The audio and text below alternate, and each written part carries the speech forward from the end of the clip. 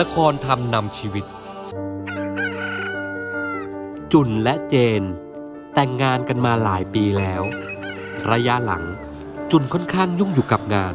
เพราะที่บริษัทมีการแข่งขันกันสูง จึงทำให้จุนรู้สึกเดี๋ยวเครียดอนคุณลืมอะไรไปอยาก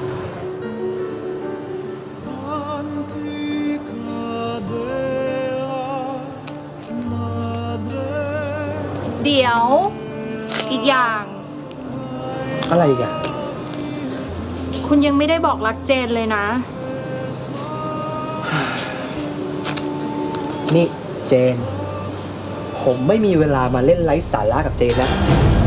นี่ก็สายมากแล้ว ที่ทำงานผมก็อยู่ไกล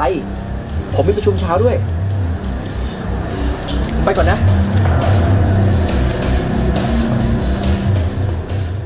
เจน เป็นภรรยาที่น่ารักเสมอสำหรับจุน ทานนี่ค่ะ ทุกครั้งที่กลับมาเหนื่อยเหนื่อยๆเธอจะมาคอยเอาใจ ทั้งๆทที่งานของเธอก็ยุ่งไม่แพ้กัน ขอบคุณครับ อยากได้ยินคำอื่นมากกว่าค่ะ วันนี้คุณยังไม่ได้บอกรักเจนเลยนะ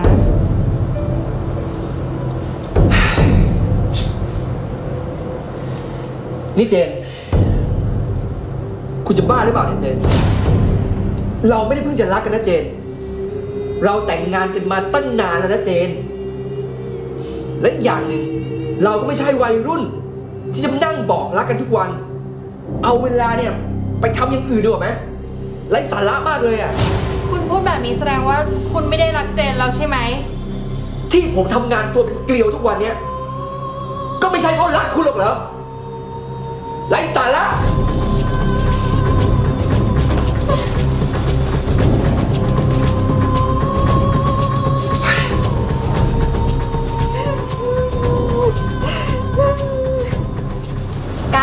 กรันทุกวันน่ะฟังดูเหมือนมันอาจจะงี่เง่านะ แต่การบอกรักกันโดยไม่ต้องรอโอกาสพิเศษ มันคือความพิเศษอย่างหนึ่งสำหรับผู้หญิงทุกคนเลยนะ มันก็เหมือนการรดน้ำต้นไม้ ที่มอบความชุ่มฉ่ำให้ทั้งดอกและใบ และที่สำคัญ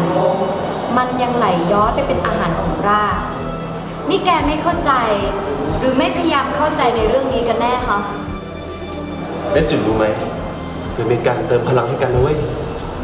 ไปเถอะ เมื่อจุนได้สติจึงตระหนักได้ว่า การบอกรักกันเหมือนยาวิเศษที่เติมพลังใจให้แก่กัน เขาจึงรีบตัดสินใจไปบอกสิ่งนี้แก่เจน ผมรักคุณ จุบบ้าเหรอ นี่วันตีสามแล้วนะขอไปได้ หลังจากเราท่านทั้งหลายได้ชมละครกันแล้ว ก็สะท้อนและย้อนมาดูตัว เราจะเห็นได้ว่าชีวิตเราจะสุขหรือทุกข์ ครอบครัวเป็นปัจจัยสำคัญ การเสริมเพิ่มพูนความสุข ในครอบครัวนั้นเราสามารถสร้างและเพิ่มพูนได้ ด้วยการบอกรัก แสดงความปรารถนาดีทำให้